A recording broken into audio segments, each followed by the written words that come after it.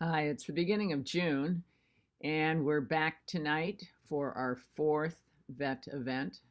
We're part of the Roaring Fork Valley Horse Council, and we'd like to welcome you.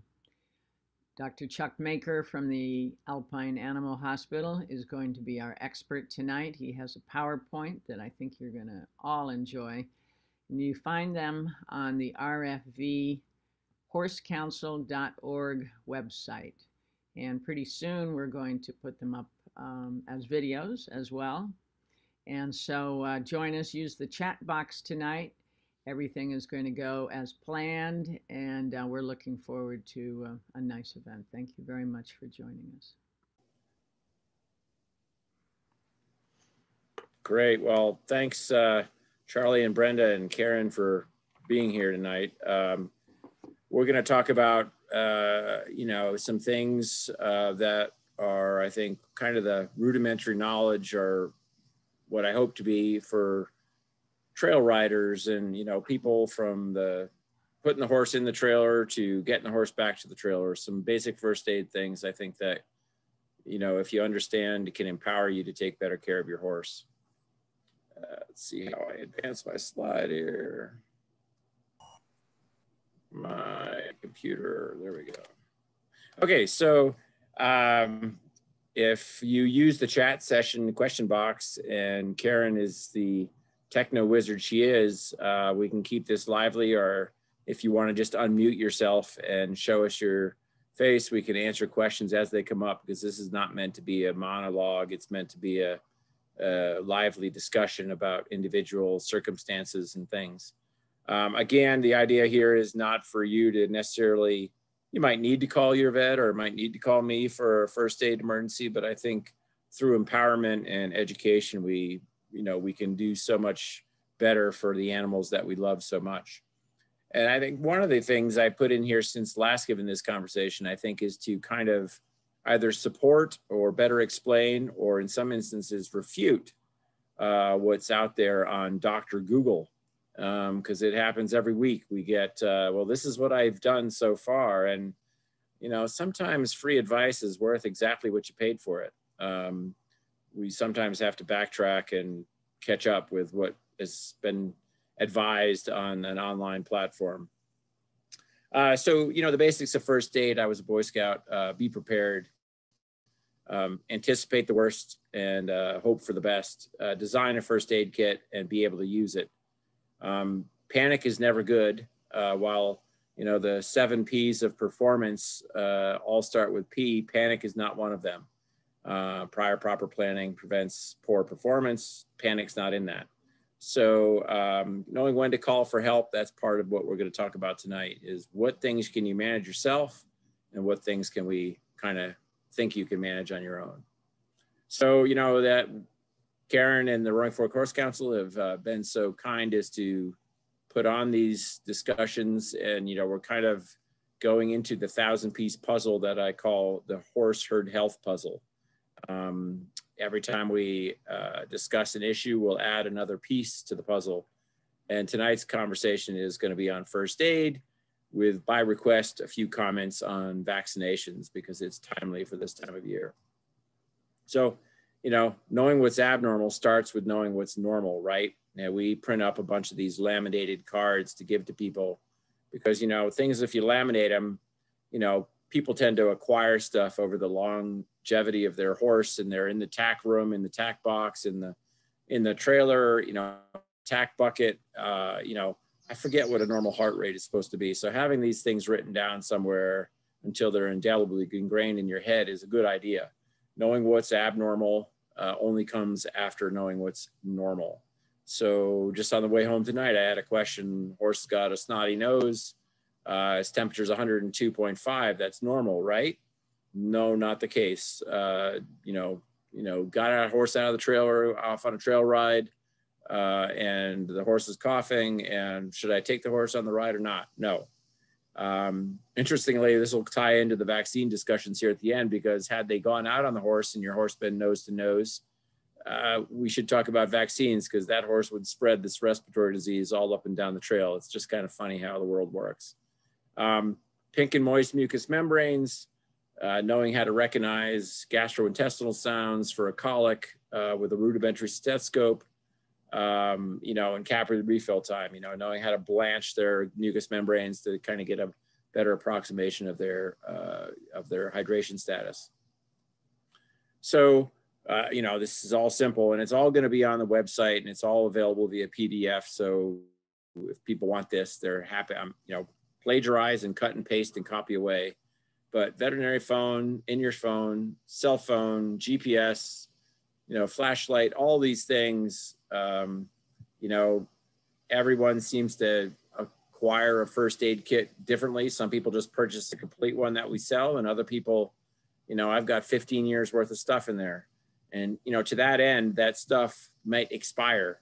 Uh, it wasn't too long ago that we had a 15 year old uh, jar of Bute get offered as, well, can I give him this for that swelling? You know, and it expired when Bill Clinton was president. So sometimes those things aren't, you know, they do have a shelf life. Um, uh, antibiotic ointments, I always comment that common things occur commonly. So be prepared for the common emergencies before you decide to become prepared for the inane, you know, one off in a one in a thousand uh, type emergency.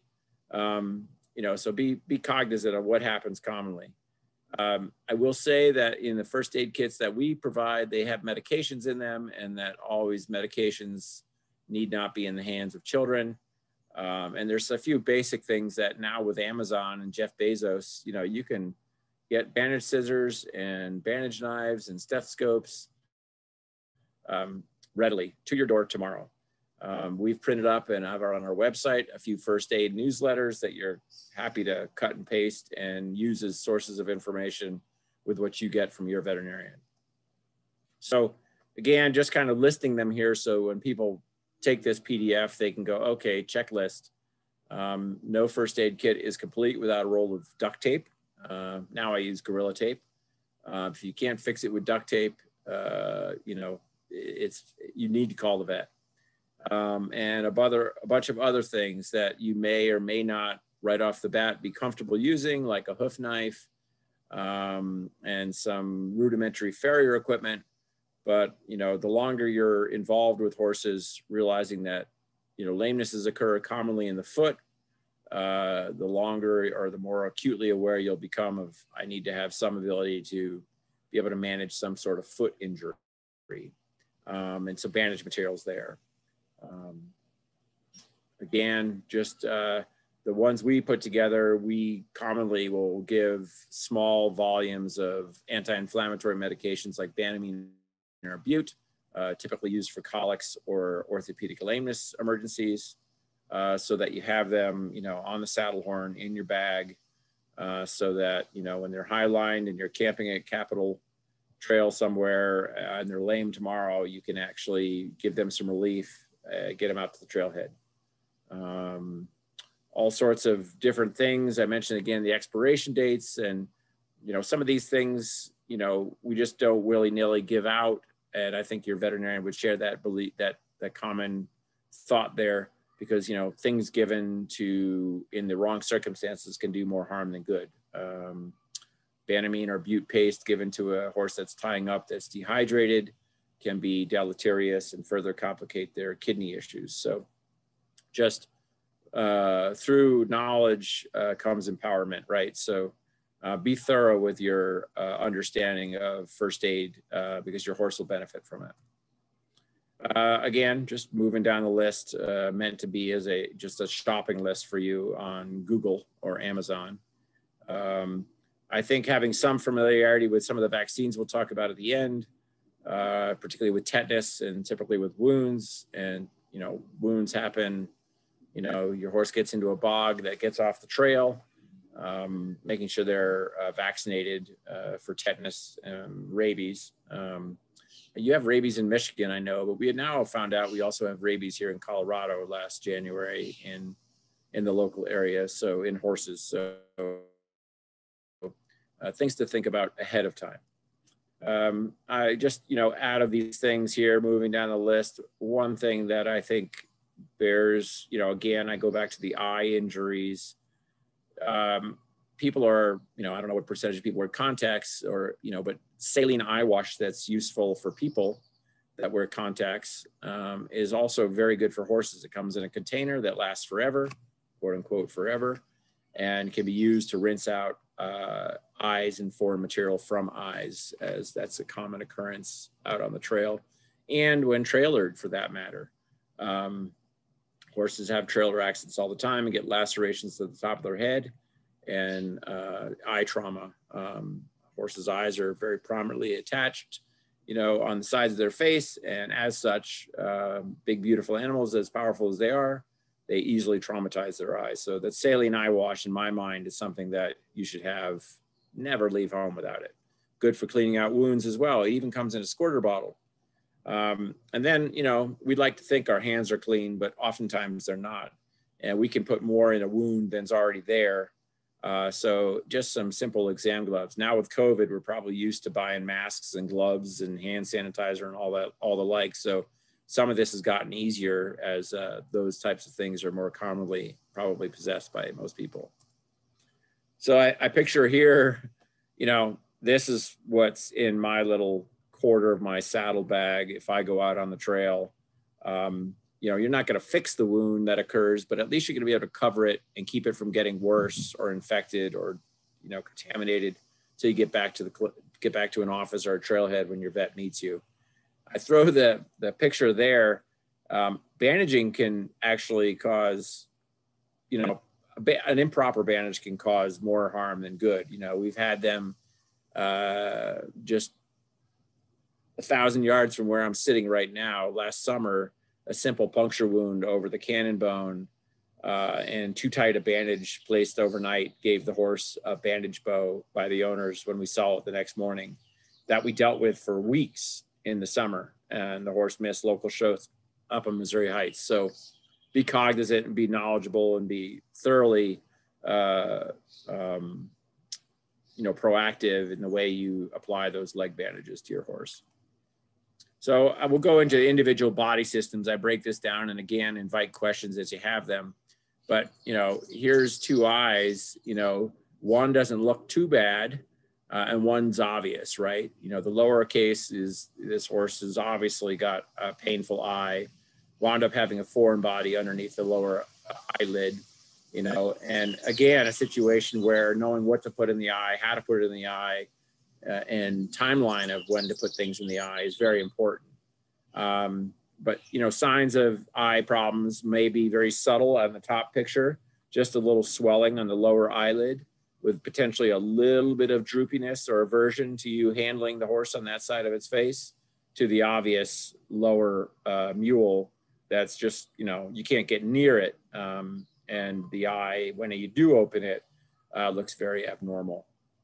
So I mean, all those things, whether it's conjunctivitis from flies that's caused or led to a, a scratched cornea or a foreign body, all those things can look similar and have quite a, a spectrum or a range of severity.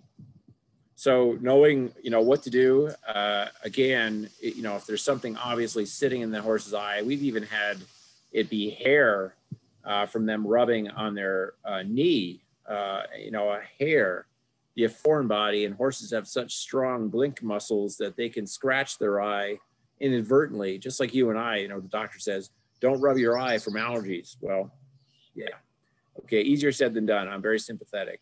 Uh, rinsing the eye with that, uh, you know, disposable, you know, single use, you know, 500 mil or one liter size saline.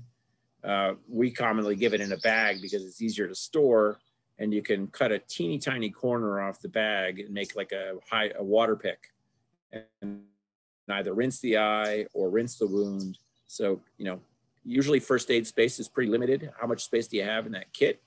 Uh, and you're you know you're carrying other things too. So having one thing uh, provide multiple purposes is kind of the, the pragmatic approach the logical approach i try and empower people with uh, triple antibiotic ointment, you know, not every triple antibiotic ointment is the same.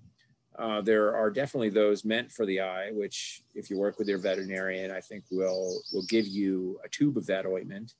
Um, but in a pinch, the brand name Neosporin eye ointment, uh, brand name Neosporin can be applied to the eye without uh, detriment. It's not quite the same formulation as ophthalmic ointments, but if you're shopping and you're in Valentine, Nebraska, and your horse has an eye problem and the nearest vet's 200 miles away, um, having a tube of Neosporin in the first aid kit for you and for the horse, if you haven't gotten the time to get one for your horse's eye, uh, will will help avoid uh, or at least keep infection in control until you get secondary care by your veterinarian. Hey, Chuck. Yeah. Um, I wrote you a question in the chat room. Did you see that? Oh, you know me. It's uh, where where is the chat room? Oh, there's the chat. There it is. Is the eye the most damaged area in the horse on trails?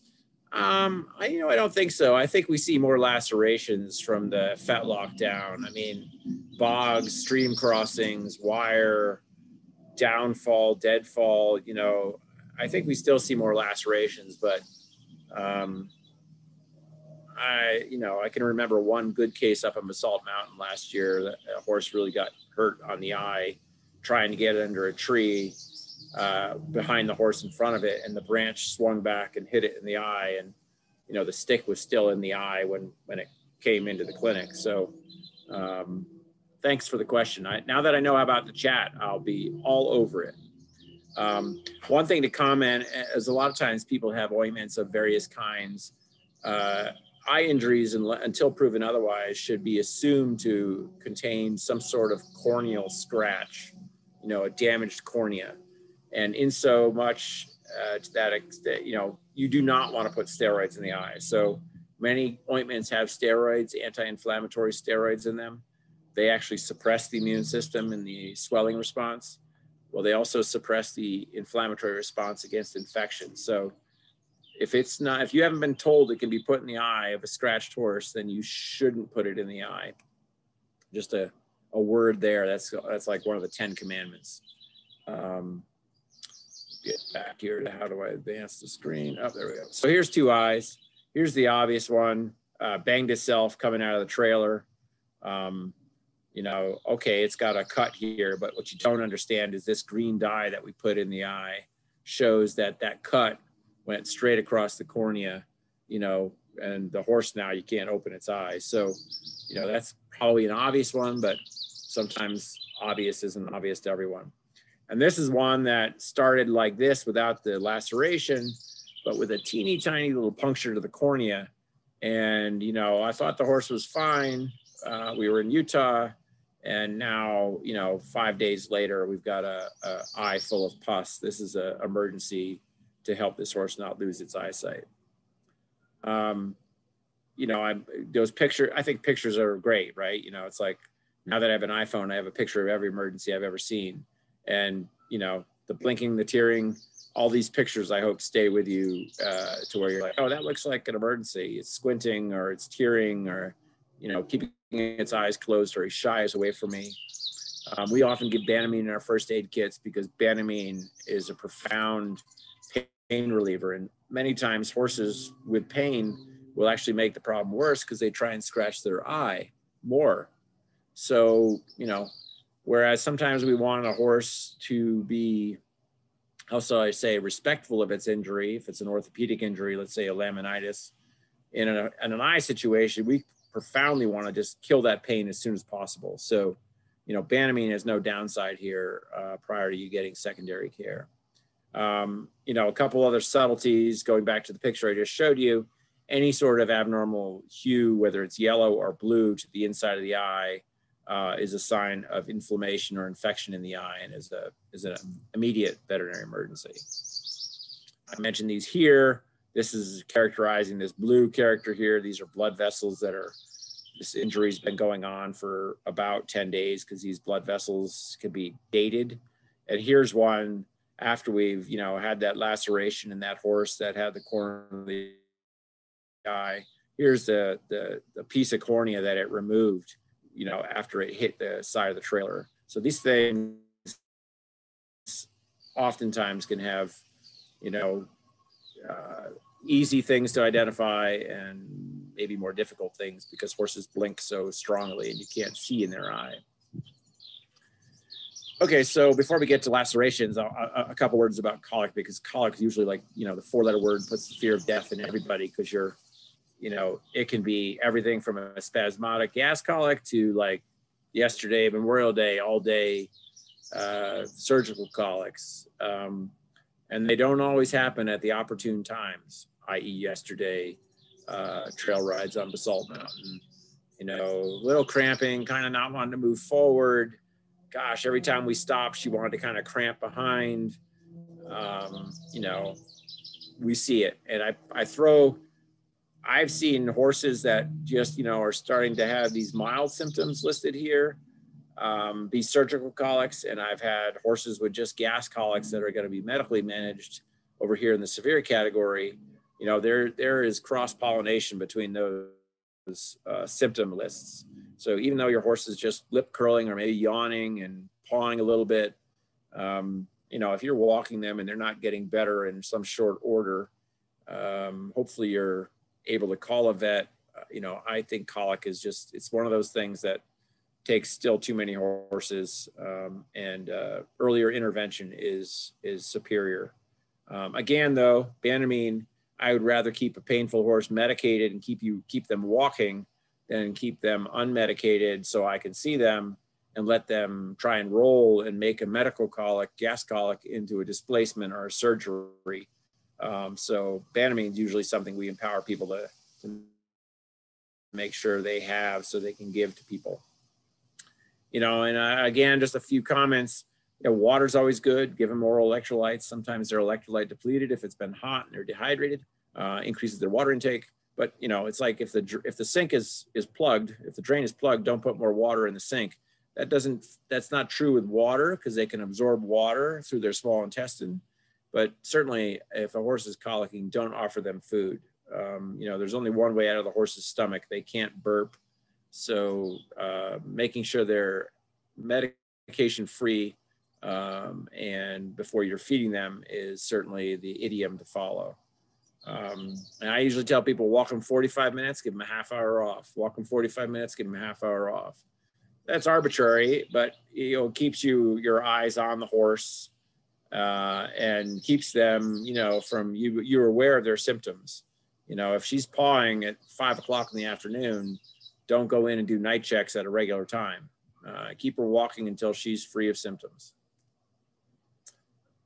a couple things about tying up. Most of the tying up we see now is pretty avoidable because people are aware of the hydration components of, you know, muscle cramps and things like that. But we do see tying up, true tying up in horses that are genetically prone to it, that are maybe on an, a disadvantaged feed regimen. Uh, we know that there's genetic uh, predispositions with certain lines of thoroughbreds and warm bloods that potentiate this problem um, with PSSM uh, types one and two, where horses accumulate different uh, amounts of glycogen and, and, lack certain enzymes for that metabolism. Uh, well beyond the scope of tonight's conversation, but you know, if you know your horse has had, uh, you know, kind of strange muscle cramping type lamenesses, and you've worked it up for certain tie-up situations, there's certainly nutritional uh, and hydration kind of proactive measures you can take so that as to avoid these first aid emergencies that we're talking about. I think Banamine paste and sedatives have their place here um, because these horses will be extremely uncomfortable. Um, but you have to be mindful that these things uh, have potential deleterious effects to horses that are severely dehydrated. So hydration, hydration, hydration, and then medication. Um, you know, we have horses like this that refuse to go forward. Uh, you know, it could be a lot of things. It's could be painful front feet. It could be, you know, sore neck, chest, pectoral muscles. Usually these tie-up situations are involving the big muscle groups, the pectorals, the neck muscles, the gluteal muscles, the hamstrings. Um, but location, location, location, right? Take the time to get off your horse and move it in a safe manner and try and decide, okay, you know, oh, here's the problem uh, before the problem gets bigger. Um, we now know in some of these musculoskeletal, particularly the founder situations, that the old timers that used to say, well, I just walked them down to the irrigation ditch and stayed their feet in the cold ice water that was snow, you know, a day ago. Um, we know that that cold water is profoundly effective at reducing some of the inflammatory cascade and providing pain relief. So, um, you know, sometimes it's not necessarily available um, immediately, but uh, can certainly provide relief. I've even seen people carry the two-part ice packs, um, and I've seen them be effective when held against the eye, swollen eye, with a towel between the ice pack. Um, icing is pretty pretty effective. Um, compression, again, you and I, you know, Rice principle, we rest it, uh, ice it, compress it, and elevate it. You know, all these things occur on the lower limbs of horses. They can't elevate it. So, and their heart is above their feet. So knowing how to put a appropriate compression wrap on a distal limb that's swollen for support as well as um, trying to work against, uh, you know, swelling from accumulating um, is twofold effective. So knowing knowing how to do that is important. Um, again, I think you know you look at the two hocks, You know this horse, you know, got in a bog, and uh, you know when their legs are down deep in the mud, you know they struggle to get out any way they can, and that's when strains happen, right? This hock on our right, as compared to that on the left, that long plantar ligament on the outside of the hock was uh, sprained you know, the hock, remember, has the same bones as you and my ankle. So think of how easy it is to sprain our ankle. Uh, horses do the same thing. Sometimes just having a, a non-gloved hand on your horse's leg, once it's cleaned off to kind of try and identify heat and swelling can help you uh, target that initial therapy and get a better outcome in your horse. Um, again, a comment about, you know, compression wrapping and, you know, just putting the wrap on with a compression wrap without sufficient padding uh, in these instances can actually do more harm than good. So um, this is, I have seen some good videos on leg compression wraps on YouTube, but I've seen some bad ones. So working with your veterinarian ahead of time, I think is a, is a good idiom here.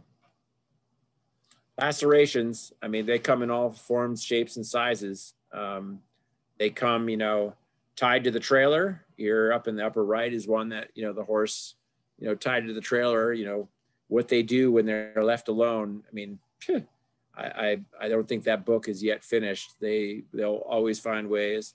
And you know, here's a upper left, a horse that you know in the trailer, getting out of the getting out of the trailer. It's to tie or not to tie.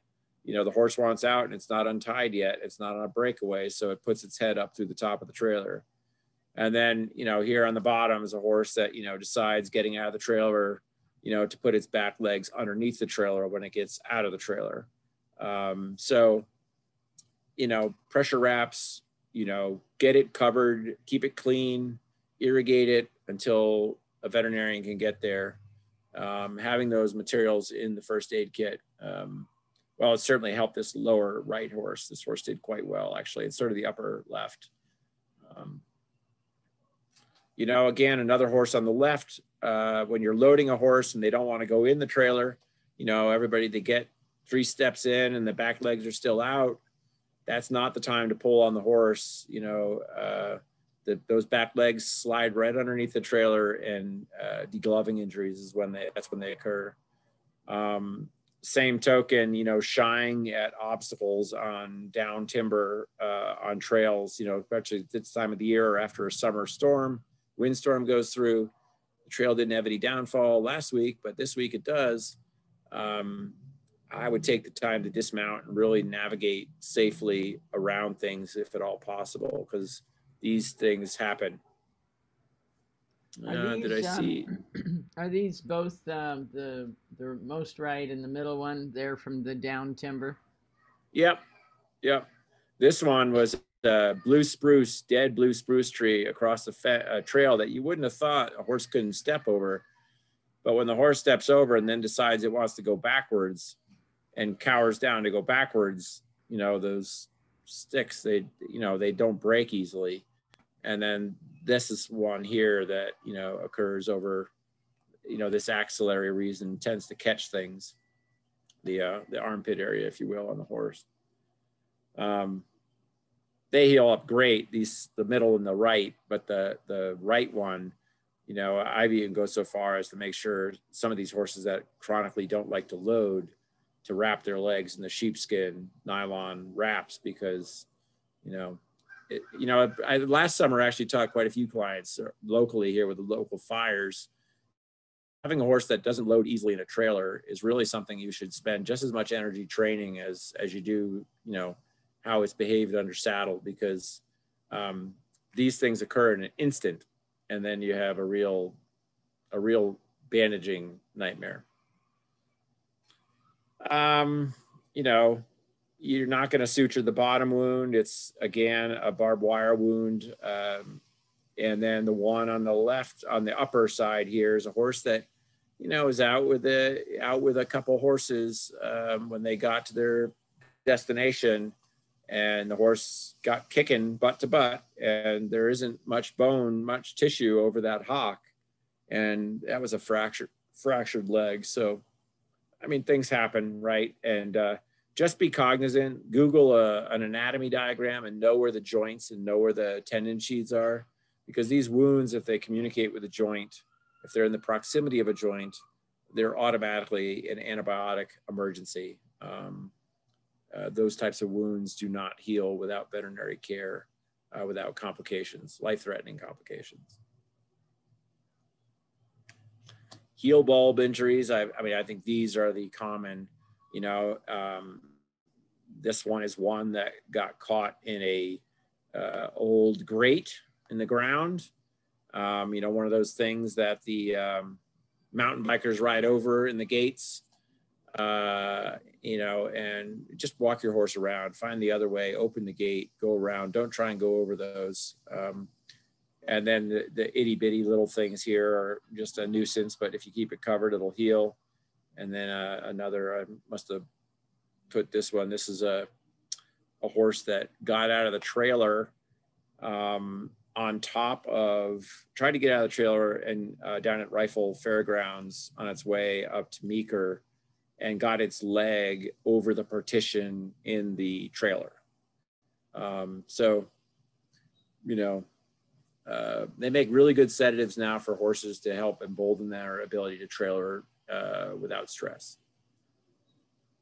Um, just a comment. I don't know why that's coming up double. That's odd.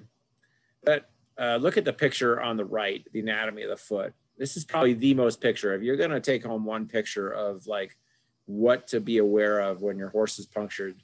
There are three joints uh, here in the bottom of the leg that you know complicate wounds in this area. There's the coffin joint, pastern joint, and then there's the navicular bursa. Up off the screen here would be the fetlock joint. You can imagine a nail, and horses do this all the time, a nail anywhere in the proximity of these things, as compact as the anatomy is in the foot can really warrant uh, aggressive veterinary intervention. So I will tell people oftentimes if there's a nail in the foot, I would rather come see the horse. You keep the nail where it is, if at all possible, because the location of the nail uh, holds a lot of information as to what is involved in the wound.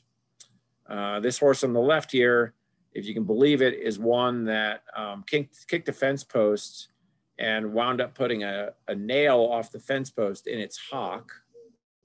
Uh, and several days later, it was infected. They pulled the nail out. And, you know, in the hock, like I said, is your ankle. There's lots of joints there. There's four joints there.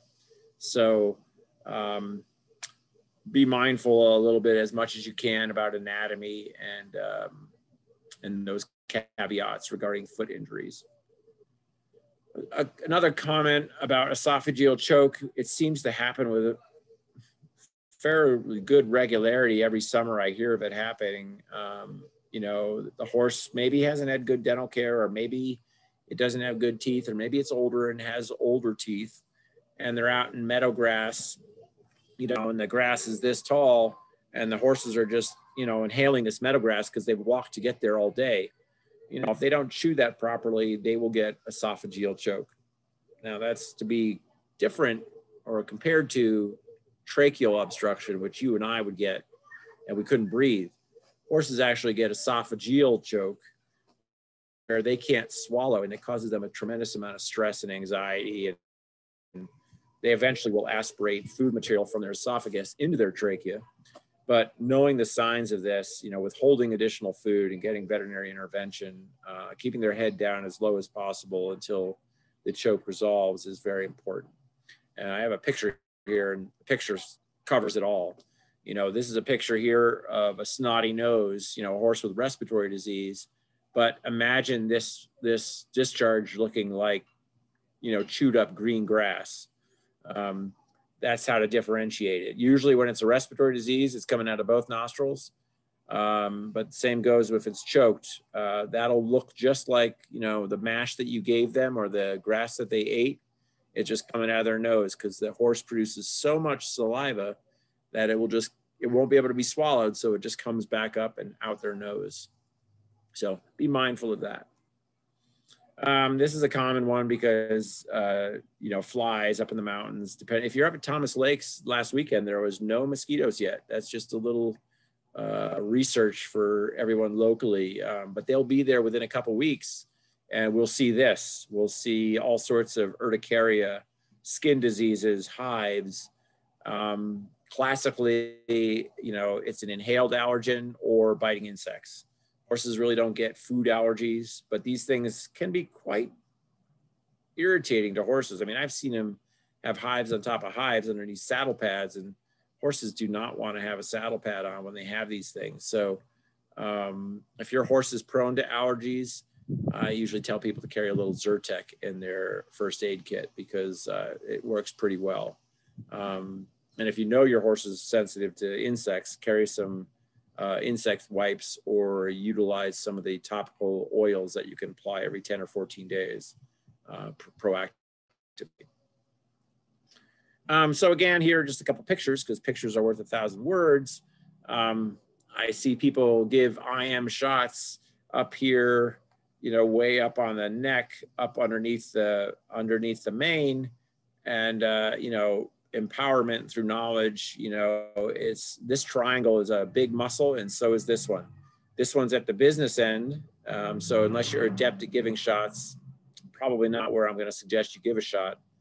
Um, but this is a great one um, if your veterinarian has given you uh, judicious um, information, knowledge, and dispensed uh, the appropriate uh, sedatives to give.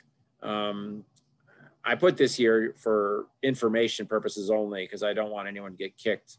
Um, and, and, and a couple comments that, you know, tranquilizers cause horses to be hypotensive so if your horse is dehydrated, they can complicate some of your horse's issues. They have to be done with um, accurate knowledge of your horse's health. And pain meds, uh, as in a foundered horse, can actually make them do more damage to their feet because they're walking around, you know, somewhat on cloud nine. They're not respecting their orthopedic injury and compromising their foot pathology even further. So um, be cognizant of those things. Um, do no harm is the idiom that veterinarians take. So that's kind of the way I avoid it.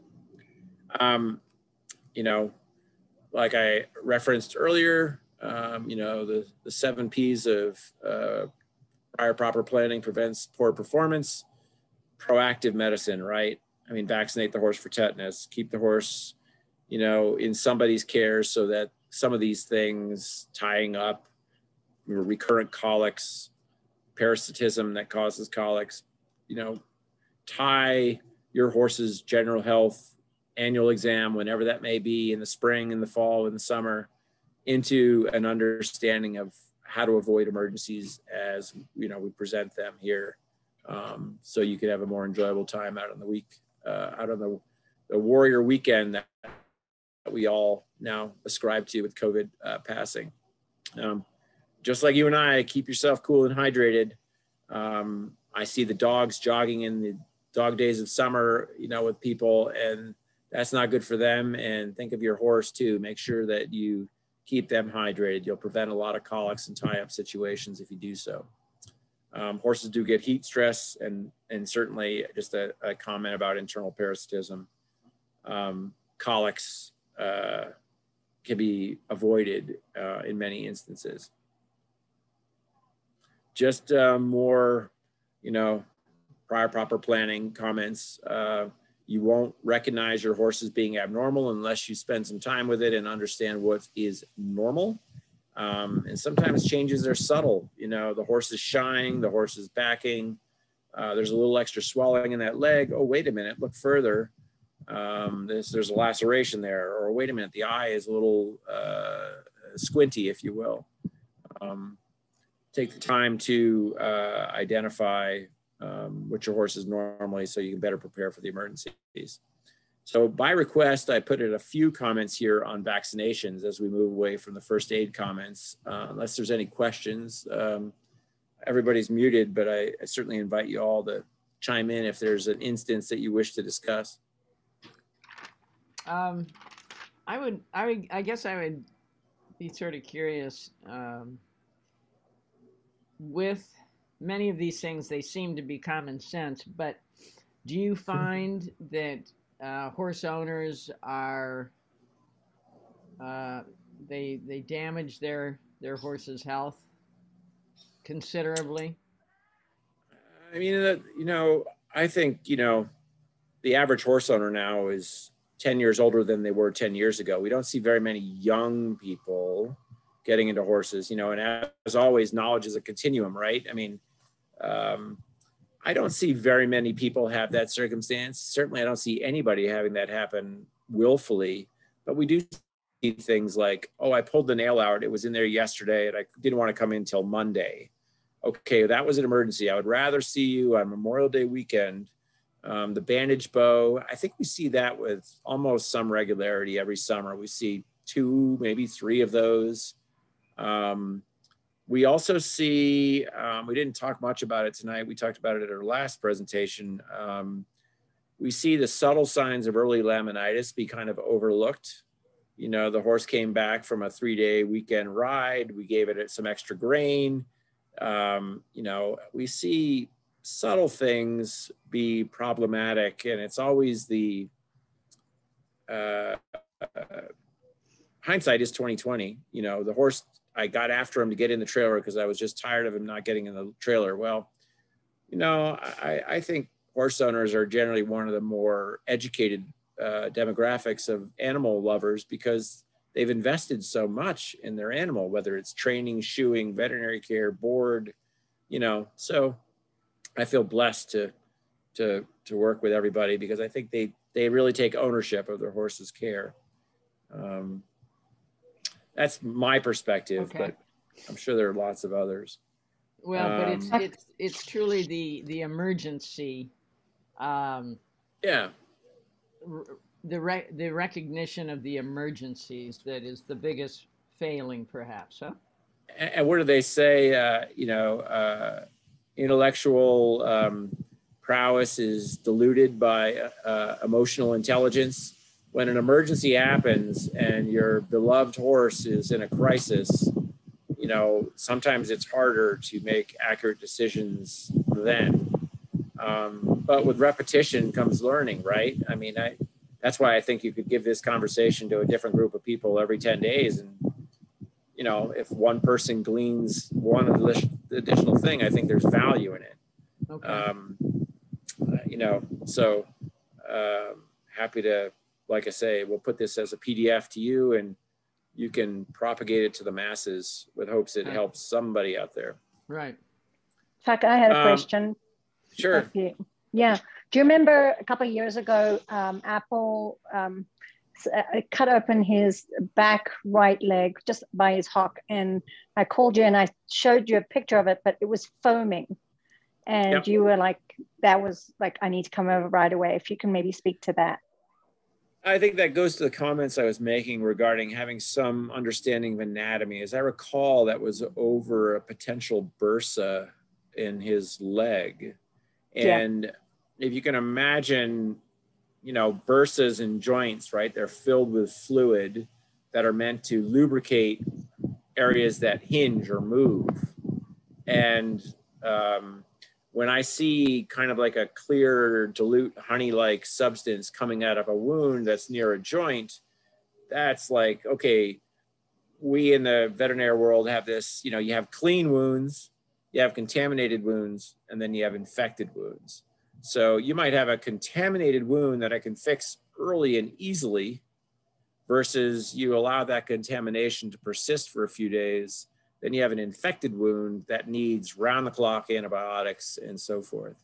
So I think that's, you know, the, I would just get everybody to, you know, there's AEP, the horse magazine. We have one on our calendars, you know, grab a picture of a horse and, and look at the joints and, and, and also too, uh, two summers ago, we got a phone call from somebody about three miles out on Capitol.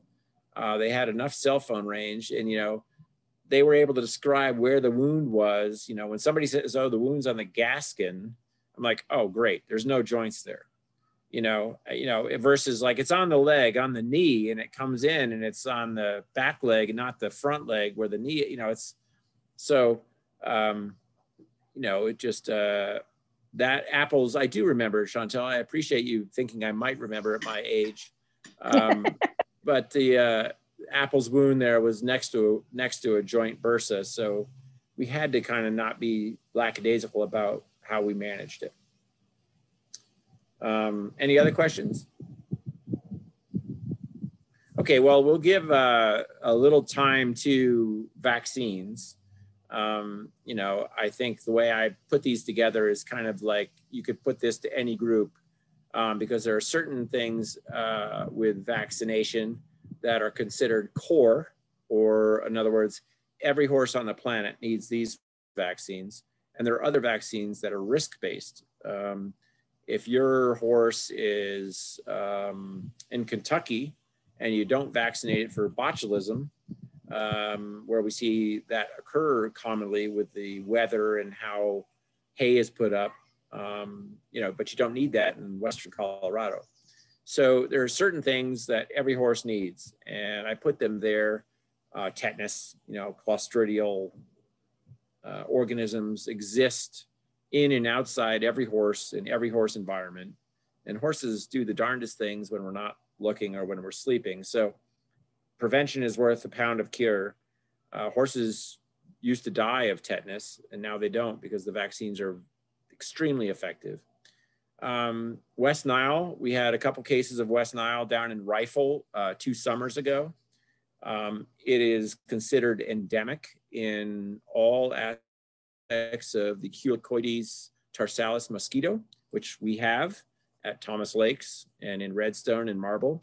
And in certain of those, you know, you'd think Rifle is not a, you know, not the capital of the mosquito capital of the world, but there are those dry, you know, creek beds that have those mosquito populations that we had two cases. So uh, worth bearing note, vaccines 97% effective. Sleeping sickness, we haven't had a case in Western Colorado for some time. Um, if your horse travels to New York though, or Michigan, uh, boy, you'd better. Uh, they have had Eastern uh, equine encephalitis almost annually in the upper New York, um, Michigan area. Um, and the vaccine is, you know, virtually 100% effective. So I see no reason why not to do that. Rabies is another obvious. Um, you know, we get exposed here in Western Colorado to rabies via the terrestrial insect eating bats. Um, on the front range of Colorado, we have skunks uh, and raccoons that carry their uh, portion of rabies. You know, we had a horse in Colorado here that had rabies and it was exposed um, to the air, uh, rabies in Arizona that came here. Um, so again, it's core. Um, there's a human health risk. Um, five years ago, when they had the rabies uh, pretty hot and heavy on the front range, uh, the Colorado Board of Health came out and said you were the most likely to be exposed to rabies if you were a horse owner, um, because such a high percentage of the horse population was naive with respect to rabies vaccine. And you know, yours truly, um, you know, January 19th, uh, got exposed to the rabbit horse on Cottonwood Pass, and, you know, and there was three feet of snow on the ground. So it's easy to overlook it, uh, and it's easy to prevent it. Um, risk-based vaccines, you know, if you've got a horse uh, on the top of a salt mountain that lives by itself, you know, annually vaccinating it once for rhino and flu probably effective. And you could argue maybe that it's not necessary because there's no exposure. But if you're like many people, um, like the horse I alluded to earlier that was going to take a ride out on the trail with a respiratory nasal discharge and a high fever, you know, having your horse vaccinated, you might think your horse lives by itself, but you're going to be out, you know, drinking from a water trough in Utah down on the Onion Creek campground. Um, you got to think of it a little bit more globally as to whether or not your horse has any potential for exposure. Strangles, typically a young horse disease, uh, bacterial disease. Um, so we don't typically vaccinate horses that are older than eight. Uh, we usually start vaccinating when they're when they're foals because the vaccine is quite effective at reducing uh, the morbidity of the disease. Um, Chuck, is that strangles or stangles?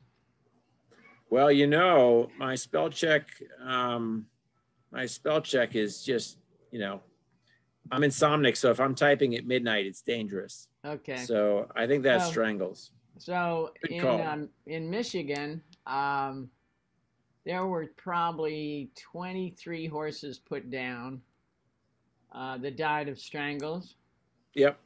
and I would say maybe a fifth of them had been vaccinated. Right. So the strangles vaccine is a modified live vaccine.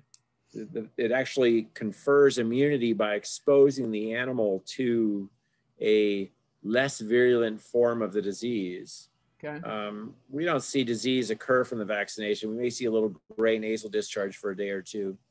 Interestingly, um, it, it the study that was done on strangles vaccine actually showed that horses, you know, required less hospitalization, less care by about 40 to 50 percent. So, you know, all these diseases, when we talk about tetanus, sleeping sickness, West Nile, those those vaccines are in the 97 99 percentile for being protective strangles vaccine is much further down on the list 60% but when you consider the worldwide financial implications of strangles if you've got a young horse at risk we use it because you know a 40% or 60% reduction in, in morbidity and mortality is actually quite measurable um, interestingly, a comment on the strangles thing too. About five years ago, I don't know if you remember here in Colorado, in Denver, and in Grand Junction, they had this really virulent form of strangles uh, that was essentially closed the equine show world in Colorado for like the better part of a summer because they had these horses that were like the ones in Michigan that were dying. So we vaccinated a heck of a lot of horses that summer because they were going to be potentially exposed to this more virulent form. So strangles is kind of one of those bacterial diseases that unfortunately like other bacterial diseases may become even more risky because of the inadvertent or unjudicious use of antibiotics Okay. so to be continued i think on that Thank you. uh, front um you know vaccines aren't a guarantee if it's 99% it's 99% it doesn't mean that your horse uh, can't get it, um, but very unlikely. Uh, rhino, interestingly, rhino and flu um, fall into this category of risk based, but they also fall into this category of kind of short term immunity. Um, you know, you can vaccinate a dog for distemper or parvo, and that immunity lasts, we know, for three years.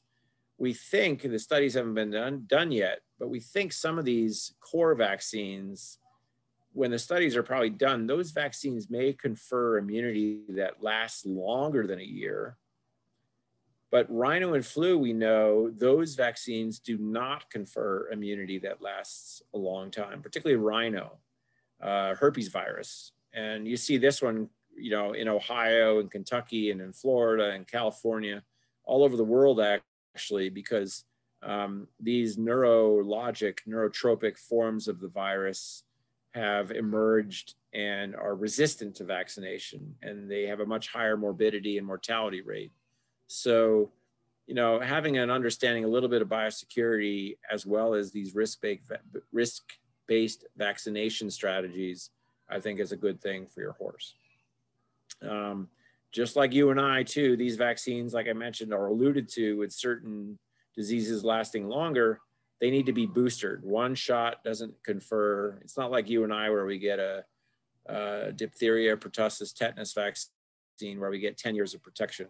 Those circumstances don't exist with horses. So typically an annual wellness vaccine appointment is, is what is good practice in horse world. Um, you know, and, and think of uh, the population out there of people and uh, analogize it to uh, horses. You got young horses, adult horses, and geriatric horses. Those geriatric horses um, don't have the bolster bolstered immunity of being young and and they have other diseases like Cushing's disease and things that even further complicate the longevity of their immunity from vaccination. So, you know, being kind of strategic in your veterinarian with your veterinarian and their approach to vaccination, I think is a good idea because um, the two, three, four, eight year old horse really doesn't have a uh, it doesn't have a, a um, you know, identical vaccination strategy program to say the horse that's got Cushing's disease, that's 25. Um, so having some herd health global perspective is a good idea in this instance. Um, you know, I, I, always, you know, think of, well, I mean, the, the analogy now would obviously be the COVID vaccine, right? You turn on the news and people are saying, you know, somebody has a sore arm or flu-like symptoms or things like this. I mean, if you think about what vaccines are supposed to do, whether they're a killed virus or a modified live, they are given to an animal to incite an immune response. You know, hey, wake up. I want you to make antibodies to this disease so you don't get sicker in the future. So while designing uh, of the vaccines we use now is superior to those used before, it isn't unheard of to hear of one horse in 20 or one horse in 30 that may have a little off, little off, little fever, you know, barely over the normal range the next day. Um, you know, that is not an abnormal response. That falls within the bell curve of normal responses to vaccines. Um, certainly 25 years ago, I remember horses getting vaccinated and they'd have 105 temp, you know, the odd rhino flu vaccine. And those instances just don't occur anymore. We don't see that. Um, and just like, uh, you know, if we've got kids and, you know, you're bringing them to the pediatrician, that initial series of vaccination is more than an annual shot. It's a, it's a series uh, designed to incite a long lasting immune response. So be cognizant that the age of your horse will uh, affect the vaccine frequency. You know, remember, you you you you walk away from the needle. Your horse walks away from the needle. It's vaccinated. Your horse needs to go to Hawaii. Uh, needs to go overseas. Vaccine is not conferred instantaneously from a vaccine. Um, there's a period after which, uh, generally two weeks, is considered to be where those antibodies uh, that are stimulated um, take to provide that protection. So just remember that. Um, I'm going to a show uh, over in Parker. Um, you know, I'm going Friday, so I'm getting the vaccine on Wednesday. No, back up two weeks and booster your horse two weeks earlier. You'll it'll certainly be healthier as a result. Um, uh, just more comments on boosters. You know, again, just you know, as it goes to rhino flu, if uh, like a horse I'm thinking that shows saddlebred that shows saddle seat, you know, he travels all over the country over the next nine months, he's going to get a rhino flu shot every three months as compared to potentially every once a year or every, or every six months, because that immunity needs to be superior at all times. And uh, we don't want to potentiate those viral infections that spread so easily at horse shows. Again, just, you know, when you look at a population, these are the metrics by which we, you know, put through the, the equation to decide what your horse's vaccine frequency should be. Just one slide, I think, on every vaccine. Just to, here's the nail. I think it was Brenda or maybe Charlie, Charlie that asked, or no, it was uh, you, Karen, that asked about the puncture. Here's the nail in the foot. I mean, if don't pull that nail out, let me come to the horse to see where that nail is because we can learn so much from where it is and the depth of penetration um, and really get that horse off on the, the right foot. Um, I haven't seen a case of tetanus since I was an intern. This is a horse that had tetanus, lockjaw. Uh, they've become very excited to sound. You clap and their third eyelids move. Um, again, unheard of now with the, um, the, vaccines as they are designed. Sleeping sickness.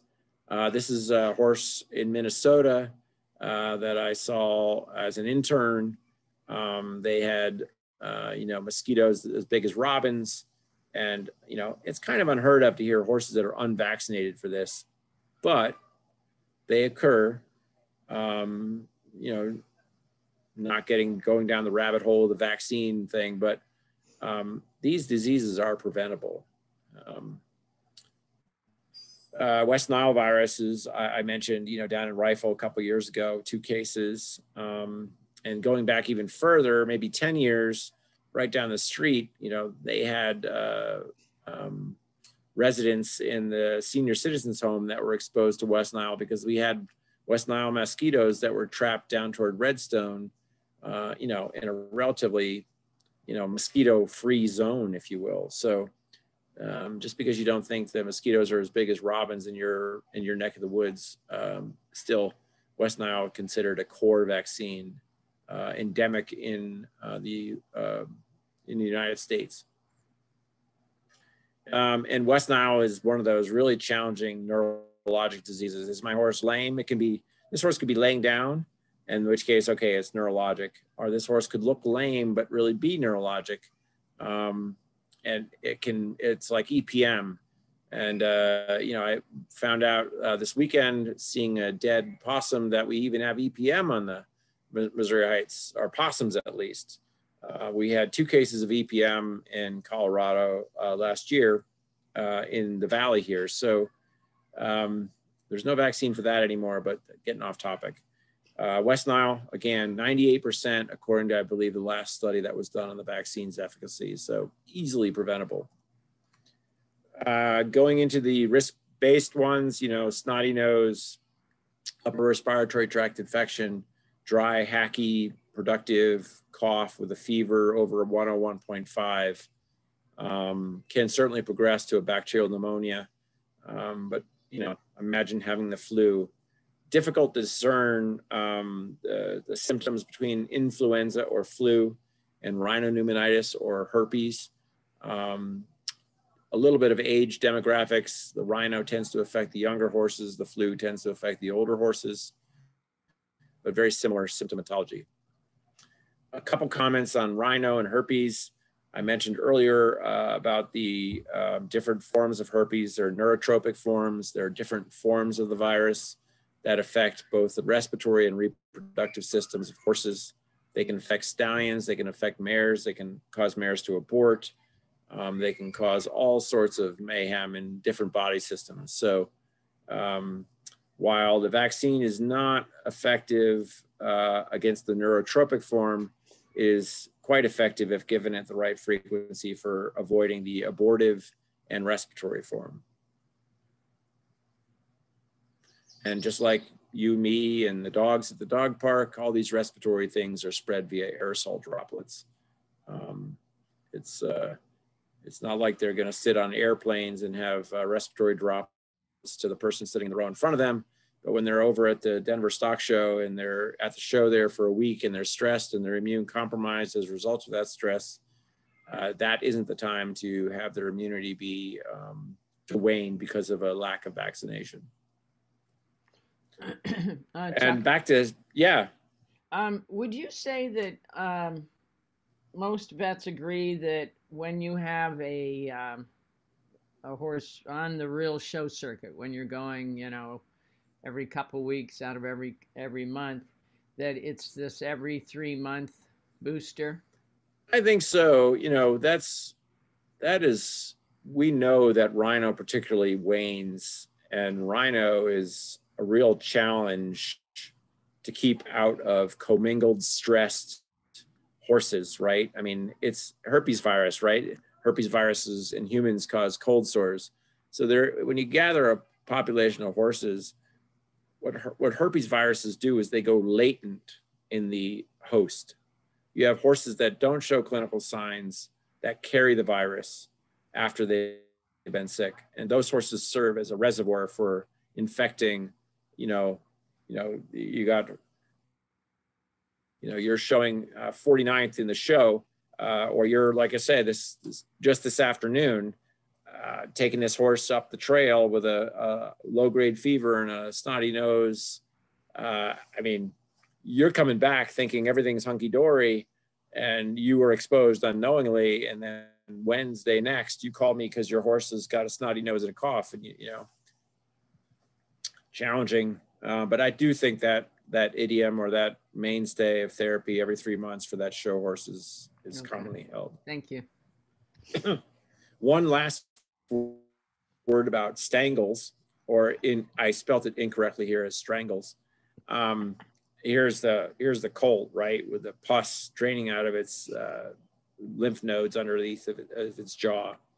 You know that stuff that leaks all over the floor, leaks all over your trailer, all over the water trough. Will be there till the dawn of time, unless it's at you know. And you just I I think of an instance. I can't incriminate it, but a lady that went to a horse hotel uh, a couple summers ago and came home, you know, complete, you know, lives in a vacuum and came home. And then this nine year old horse came down with strangles, never had it as a colt. You know, and I just think wa- water and moist environments tend to keep these things uh, alive in the soil. And then, you know, the naive horse population, right? We were a naive world with respect to COVID, you know, they we see that's when we're living that's when we see illness so um, what your horse's risk-based assessment is, is two years ago may change if you decide to trailer or transportate you know transport your horse and do different things with it you know now that we're all traveling free and about so So, um, when you do have a horse with the strangles, you uh, what? Get rid of everything in the stall, and yep donate it yeah, No, it's, it's interesting. The, the study was actually done. There hasn't been one done recently, but I believe the study was done way back when. It was done in New Jersey, or one of them was, and it, it looked at this population of saddlebreds and uh, and standardbreds. These horses shed strangles bacteria out of their nasal secretions uh, for weeks to months after their abscesses healed on their throat. And I, I think you asked about what other veterinarians do. I think it's pretty common nowadays when you see a case of strangles that it's not just, all right, well, when those scabs heal, just turn them back out in the herd. Um, nowadays, it's, I think, customary to use PCR testing with a nasal swab. Don't bother testing them for a couple weeks after their scabs have healed, but I usually say quarantine them for two weeks after it's all healed and then start doing a nasal swab, uh, just like you know COVID test, and we can detect the organism there. And you know some horses shed the bacteria for three weeks, and there were horses in the study that shed it for months. And Wow. there, that's like the rhino horse, right? The horse got sick, got over it, but it still sheds it in its nasal secretions, and it, it's the gift that keeps on giving. Um, so, you know, and actually, that strangles horse occurred. They had 57 other horses uh, if we put it out with all the other horses, we'd have strangles there f- till forever. Um, but we tested it and we knew it was negative before we put it back in the herd. So, um, but, but then the the dirt in the stall as well. What? Put it in a pickup and take it take it to the big dump. yeah, we try to, you know, once we get a, an infectious disease like that, we try and, you know, kind of work with where the horse is to kind of, you know, all right, where can we design best the place for the best biosecurity? You know, where are we going to have to clean up the least? Right. Got Um, it. some some sort of, you know, surface that's able to be mucked out and gotten rid of. I think I think commonly if the if the soil dries, um, while the bacteria is resistant to drying, I think more commonly the higher longevity or the, the longer infection risk is carried by those like water buckets and water troughs and you know the muddy areas around those areas. Um, so you know, no two cases are the same. Thank you. Happy trails to everybody out there uh, and your horses. And if you have any questions, I'll be happy to answer them. And otherwise, turn you loose for dinner. Brenda, do you have some questions? No, thank you very much. You're Now, welcome. Brenda, we're going to put this up on um, the Horse Council website over here. I, I put the link. And then we're going to get a YouTube and we're going to get the actual videos as well. Great. So that'll be good. How about you, Lena? Everything all right? Yeah, no, I'm good. Uh, thanks a lot, Chuck, for taking time out of your day to do this for us. Sure. It's very informative. I'm probably one of those that picks up one or two things from it that can remember something without Repet- writing it down and taking it with me, but uh, very helpful. Thank you. Repetition is the key to learning. So, you know, two things taken 50 times is you're all set for the next trail ride. All right. Well, And how about I you? will turn how it over to, you- How about you, Charlie? Let's just finish with you.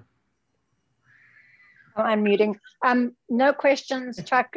Fantastic as always. So informative, and um, you've definitely helped me out um, many times.